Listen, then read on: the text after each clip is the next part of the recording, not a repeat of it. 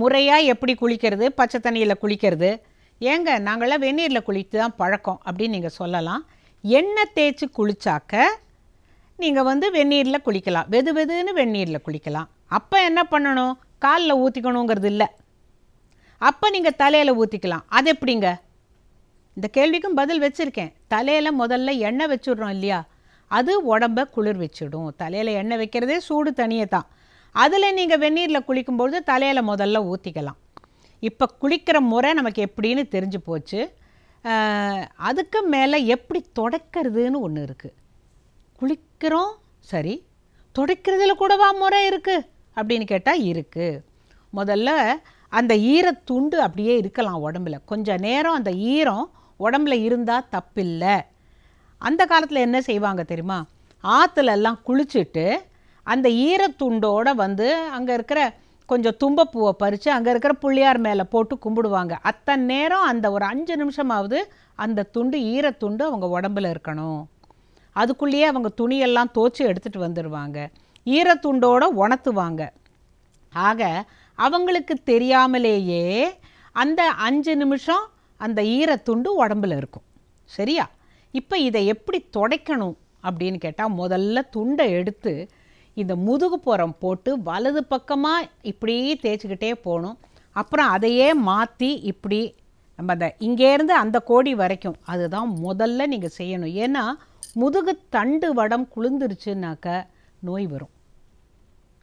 இந்த முதுகை நீங்கள் காப்பாற்றிக்கணும் எனக்கு இது இந்த நேரத்தில் இன்னொரு ஞாபகம் வருது.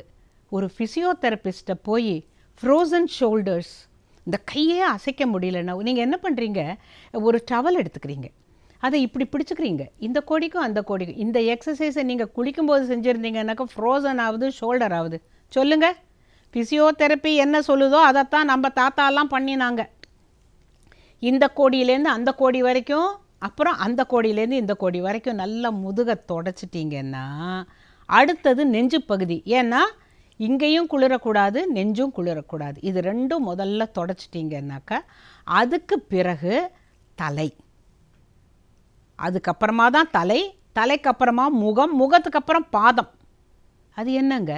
அது ஒரு கணக்கு வச்சுருக்குறாங்க. முகத்தை தொடச்சிட்டு அழுத்தியெல்லாம் துடைக்கவே கூடாது. அந்த ஈரப்பசை கொஞ்சம் இருக்கலாம் உடம்புல. நல்ல ஒட்ட தொட அப்படின்னாக்கா அதெல்லாம் வேண்டாம். முகத்தை தொடச்சிட்டு பாதம் பாதத்துக்கு அப்புறம் கை. நீங்கள் எதெல்லாம் உங்களுக்கு ஞாபகம் இருக்கோ இல்லையோ முதல்ல முதுகு அப்புறம் நெஞ்சு அதை ஞாபகம் வச்சுக்கோங்க போதும். அப்புறம் பார்த்துக்கலாம். இப்போ பாதத்து இடுக்கலெல்லாம் தேய்க்கணும். இந்த விரல் இடுக்கலெல்லாம் தேய்ச்சி குளிக்கணும். காதுக்கு பின்னால் தேய்ச்சி குளிக்கணும். இந்த தலைக்கு கூடின வரைக்கும் கெமிக்கல்ஸ் இல்லாமல் குளிக்க பழகணும். இது ஏன் முக்கியம் அப்படின்னு கேட்டாக்க பல கெமிக்கல்ஸ்னால தான் நாம் வந்து இந்த உடம்புல நோய் வருது. சரும நோயெல்லாம் அதனால தான் வருது. அந்த காலத்தில் பெண்கள் என்ன செய்வாங்க? ஆத்தங்கரைக்கு மஞ்சள் எடுத்துகிட்டு போய் அந்த கல்லில் தேய்ச்சி என்னங்க? ஏதோ ஐதரளி அலி காலத்து கதையெல்லாம் சொல்கிறீங்கன்னா இல்லை. அவங்களோட சருமம் டல்லாக இருந்தது. இன்றைக்கி நாமே ஒரு க்ரீமில் இதில் மஞ்சள் இருக்குன்னு சொன்னால் அதை வாங்கி பூசிக்கிறோம். அதில் எப்படிங்க இருக்க முடியும்? அவங்க சொல்கிறாங்க நாம் கேட்குறோம் பல்பொடியில் உப்பு இருக்கான்னு கேட்குறாங்க அந்த காலத்தில் பல்பொடிக்கு என்ன செய்வாங்க? ஆலங்குச்சி வேலங்குச்சி வச்சு பல் தேய்ச்சாங்க. இப்போ அது வேண்டாம். நல்லா உமி தெரியுமா? உமின்னா உங்களுக்கு தெரியாது. நீங்கள் கடையில் கேட்டு பாருங்கள் உமின்னா இந்த நெல்லை அரைச்சா அரிசி வரும் பாக்கி உமியும் தவிடும் வரும். இந்த உமியை எடுத்து கல் சட்டியில் போட்டு நல்ல இரும்பு சட்டியில் போட்டு கருக வறுப்பாங்க. நல்லா அது கருப்பாக வறுபட்ட உடனே அதை எடுத்து ஒரு தட்டில் போட்டு கொஞ்சம் கல்பூரம் கொஞ்சம் உப்பு போட்டு நல்லா நுணுக்கி வச்சுருவாங்க. இதுதான் பெஸ்ட்டு பல்பொடி அப்படின்னு அந்த காலத்தில் இருந்தது. அவங்க தொண்ணூறு வயசில் முறுக்கு சாப்பிட்டாங்க. இப்போ நம்ம முறுக்க கண்ணால் தான் பார்க்க முடியும். சாப்பிடலாம் முடியாது. இல்லையா? காரணம் நம்முடைய வாழ்க்கை முறை மாறினதுனால தான். பல் தேய்க்கிறதுலேருந்து குளிக்கிறதுலேருந்து எல்லாத்துலேயும் முறையை மாற்றிட்டோம் அப்புறம் முக்கியமாக ஒன்று சொல்ல மறந்துட்டேன்.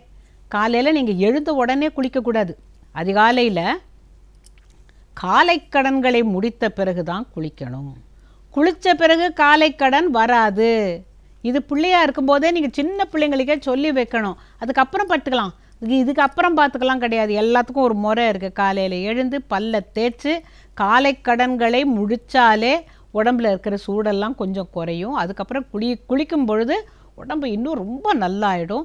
முறையாக தொடச்சிக்கிட்டோம்னாக்க உங்களுக்கு ஒரு சின்ன இந்த கா டைம் மெஷினை கொஞ்சம் ரீவைண்ட் பண்ணி பார்த்தீங்கன்னா உங்களெலாம் பிள்ளையாக இருக்கும்போது உங்கள் அம்மா உங்களை எப்படி துவட்டி விடுவாங்க? முதல்ல முதுக துடைப்பாங்க. அப்புறம் நெஞ்சை துடைப்பாங்க. ஞாபகம் வருதா பாருங்க. அப்படி இல்லைனாக்கா என்னைக்காச்சும் ஒரு ஈஸி சேரில் உட்காந்துக்கிட்டு நான் சின்ன வயசில் மூணு நாலு வயசில் இருந்தபோது எப் குளித்த போது எப்படி தொடச்சாங்க அப்படிங்கிறத நீங்கள் ரீவைண்ட் பண்ணி பார்த்தீங்கன்னா தெரியும். அந்த காலத்து மக்கள் யாரும் முட்டாள் இல்லைங்கிறத நீங்கள் நம்பினீங்கன்னா உங்களுக்கு ஆரோக்கியம் திருப்பி வந்துடும் சரி பெண்களுக்கு என்ன சொன்னேன்? இந்த முகத்துக்கு நீங்கள் எந்த க்ரீமோ அல்லது எந்த பொடியோ போடாதீங்க. நான் சொல்கிறத நீங்கள் கேட்டுக்கோங்க. மஞ்சள் பயத்த மாவு இயற்கையோடு சேர்ந்த வாழ்க்கை வாழ்ந்தோம்னாலே நோய் வராதுன்னு சொன்னேன். மஞ்சள் அதுலேயும் கஸ்தூரி மஞ்சள்னு கிடைக்கும். அது வெள்ளையாக இருக்கும். கஸ்தூரி மஞ்சள். அப்புறம் இந்த விரலி மஞ்சள்னு இருக்கிறது சமையல் மஞ்சள். அது வேற நீங்கள் புரிஞ்சுக்கணும். மஞ்சள்னு உடனே ஓ நான் மிக்சியில் ஏதோ மஞ்சளை போட்டேங்க. அவங்க இந்த அம்மா சொன்னாங்கன்னு நான் பொடிச்சிட்டேங்க. இல்லை. கஸ்தூரி மஞ்சள் கொஞ்சம் பயத்தம் பருப்பு. இதெல்லாத்தையும் நீங்கள் குட்டிக்கிழங்கு இந்த கிழங்கெல்லாம் நீங்கள் அதை வெட்டி வேர் கூட போடுவாங்க. இதெல்லாத்தையும் வெயிலில் காய வச்சு நல்லா பிடிச்சி வச்சுக்கிட்டிங்கனாக்கா வேணும்னா தயிரோட அல்லது பாலோட குழைச்சி முகத்தில் போட்டு பாருங்கள் மாசு மருவு இல்லாத சின்ன பிள்ளைங்கள குளிக்க கூப்பிடும்போது வா வா வா வா வா பட்டா குளிக்கலாம்பாங்க. அதென்ன பட்டா குளிக்கிறது? பட்டு போல மேனி.